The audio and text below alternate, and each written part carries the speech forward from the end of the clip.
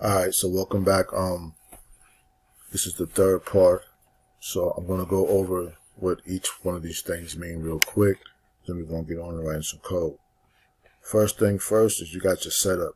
Like your setup is like your basic, your basic template that you have to write for the code to work. The machine only reads code. Um, I like what you see in the movies, it's not just turn on the computer and and and just type what you think into it and the computer thinks for you.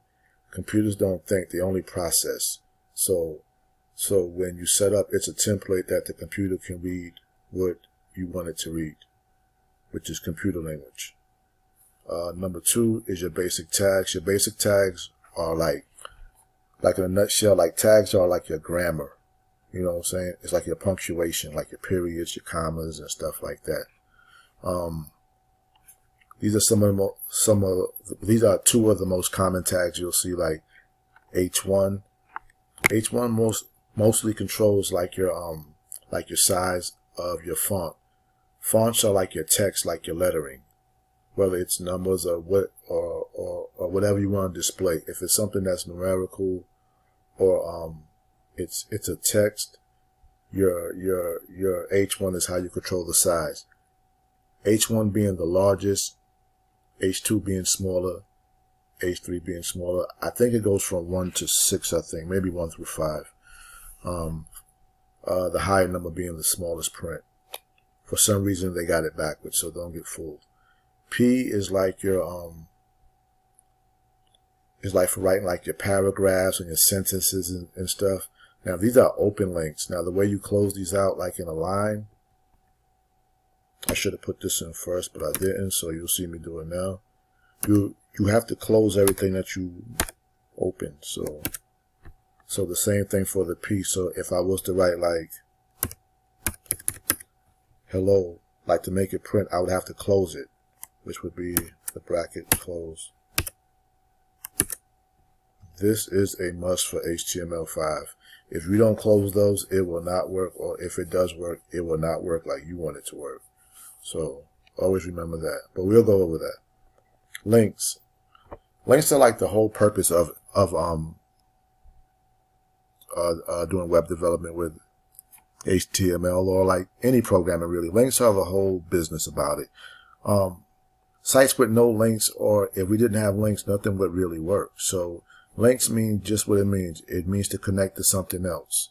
Whether it's to another web page, it's to the answer of an equation. It's to uh, uh, uh, uh, enforce a line of code.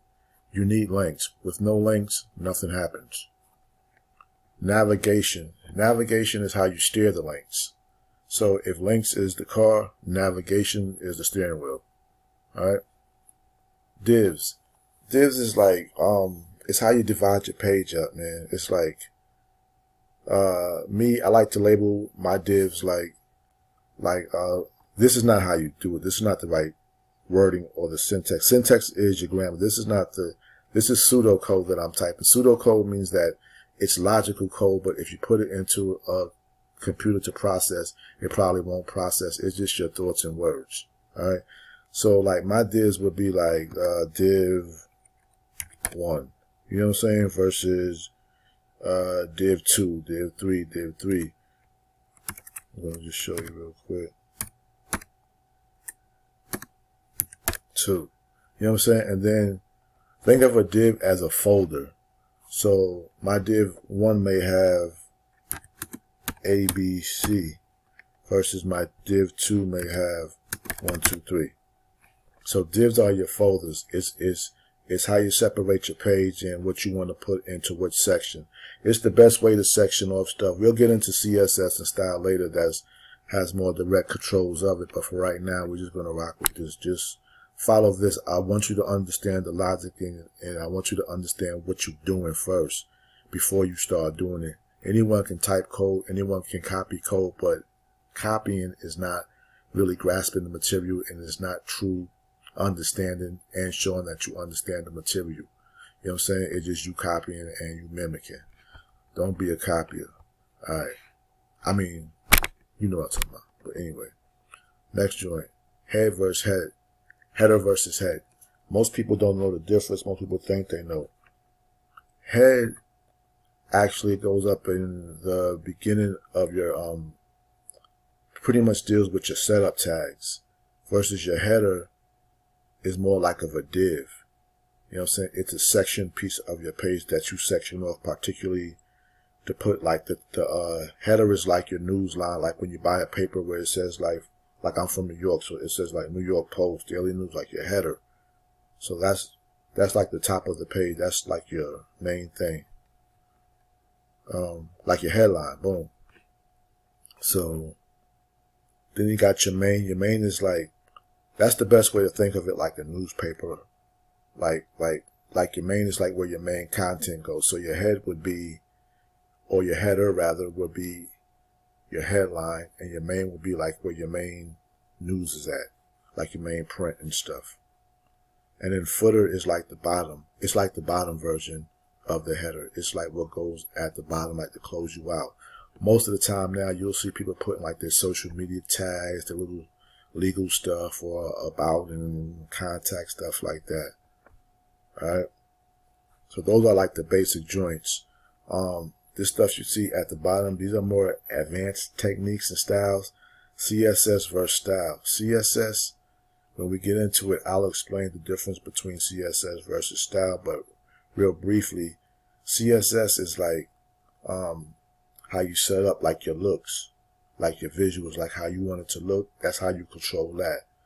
Versus to me, style is more, it's CSS, but it's more direct. It's not so much in another joint. But don't get confused with all that. I'm getting too technical, and when we get to that part, then I'll let you know. Um, image. That's like your pictures and stuff. Like a picture of anything. If it's a picture, it's a image. Whether it be a button, a picture, a, a graphic, whatever. It's an image. Video, vid is self-explanatory. It's video. You know what I'm saying? Um, you could get into other stuff too, though, like like uh, um sound. Um, you know what I'm saying? We do MP4s. Um, we could play any kind of. See, to me, like all the MP4s and MP3, all that stuff kind of fall on the video to me because it's like stuff moving. You know what I mean? um.